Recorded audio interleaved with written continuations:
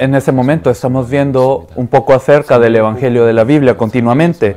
El Evangelio de la Biblia es el núcleo que la Biblia nos habla. Juan 20:31 nos dice que el objetivo de la escritura de esta Biblia es que creáis que Jesús es el Cristo, el Hijo de Dios. Eh, es lo que dice, para que creáis y, si, y creyendo tengáis vida en su nombre. Así que la Biblia quiere que creamos algo. Es, es un libro dado para que creamos en algo. Y ese algo, ese contenido, ¿cuál es? Es que podamos creer que Jesús es el Cristo, el Hijo de Dios. Y cuando creemos de esta manera, tenemos vida. Por eso es que continuamente la Biblia nos dice que Jesús es el Cristo, el Hijo de Dios, y continuamente nos lo comparte. Por eso es que la Biblia es cristocéntrica y cristotélica. Así que podemos ver que la, eh, Jesús es el Cristo el Hijo de Dios. Jesús es el Cristo. Esto es algo que nosotros debemos de conocer de una buena manera, de una forma muy bien. Por eso es que estamos explicando un poco acerca del Cristo y luego tenemos que explicar por qué es que Jesús es el Cristo. Claro que luego lo diremos, pero Jesús eh, no es que al principio no era el Cristo y después se volvió el Cristo. No es eso, sino que desde el principio Él es el Cristo. Sin embargo, por la cruz y la resurrección, Él fue afirmado como el Cristo ante nosotros. Fue anunciado a nosotros nosotros de esta forma.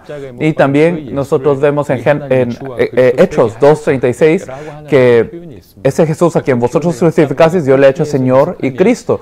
Y algunas personas interpretan, bueno, es que antes eh, era un hombre, pero ahora con la cruz Él se ha vuelto, Dios le ha hecho, le, le ha convertido en el Cristo. Pero no es así, sino que desde el principio Él fue el Cristo y siempre será el Cristo.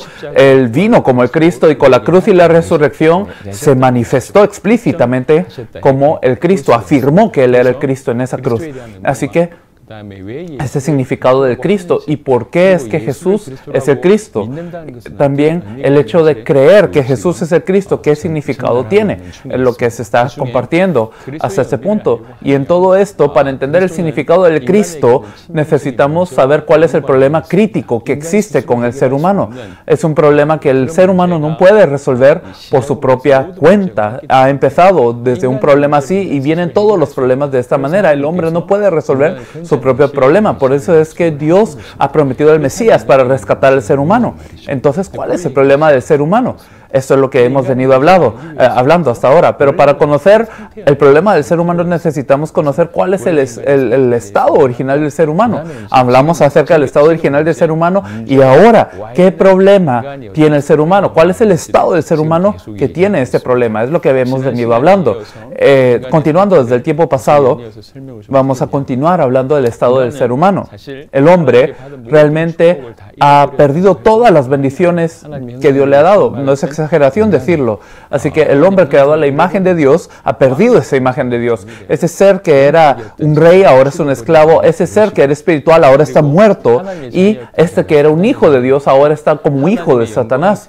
Aquel que tenía que manifestar esa gloria de Dios, aquel que necesitaba de Dios, eh, ahora eh, ha perdido esta gloria de Dios. Aquel que manifestaba esta gloria de Dios ahora no puede estar con Dios, está destituido de la gloria de Dios. Así que ha perdido toda bendición. Pero es, eh, claro que es un problema haber perdido las bendiciones que ha tenido, pero más allá de esto ahora ha caído a un estado muy lamentable. Después de Génesis 3, nosotros vemos que en Génesis 3, 16 al 24, vemos el estado del ser humano y vemos también otros versículos que hemos hablado que hablan acerca de qué tan patético es el estado del ser humano.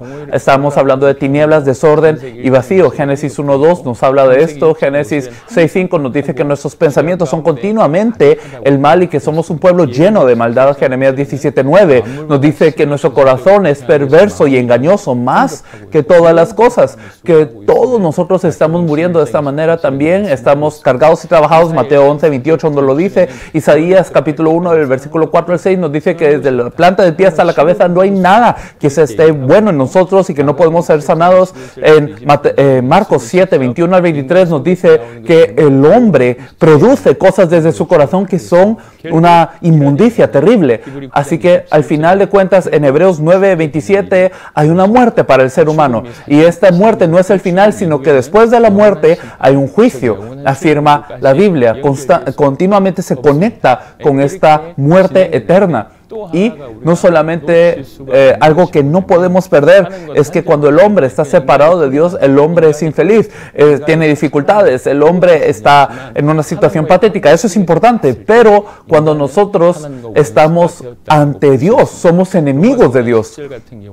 Así que eh, muy claramente la Biblia nos dice que cuando aún fuimos nosotros enemigos, Colosenses, por ejemplo, 1.21 nos expresa también de esta manera, no es solo solamente que eh, hemos perdido una relación con Dios como, como alguien que está a la, par nuestra y perdemos la relación. El hecho de estar separado de Dios quiere decir que éramos enemigos de Dios. Quiere decir, en otras palabras, que somos recipientes de la ira de Dios. Estamos en ese estado.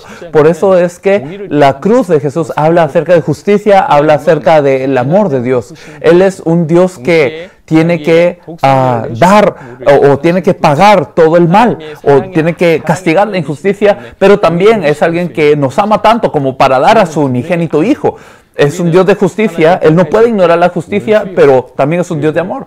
Éramos enemigos de Dios, éramos en un, estado en donde teníamos que sufrir por ser enemigos de Dios, por, eh, tenemos que tener esta ira. Así de, serio es el estado del ser humano y muchos problemas aparecen de esto, problemas de la familia, problemas mentales, problemas interpersonales, problemas de la economía, muchísimos problemas y muchísimas eh, consecuencias del problema realmente vienen porque estamos separados de Dios, estamos presos bajo el pecado, estamos presos bajo la influencia de Satanás. Por eso vienen todos los problemas y el ser humano no puede resolver este problema. Por eso es que de una forma en general, el problema del ser humano solo es una cosa. Todos los problemas vienen porque el hombre está separado de Dios. Podemos decirlo de esta forma. Por eso es que la respuesta para el ser humano es una cosa. ¿Y cuál es? Es encontrarse con Dios. Pero solo hay un camino para encontrarse con Dios. Y ese camino es el Cristo. Pero ¿quién es el Cristo? Solamente Es el Cristo. Esto es lo que toda la Biblia está mostrando. Es que estamos en un estado patético, estamos en un estado tétrico en donde somos enemigos de Dios. Este es el estado corriente del ser humano.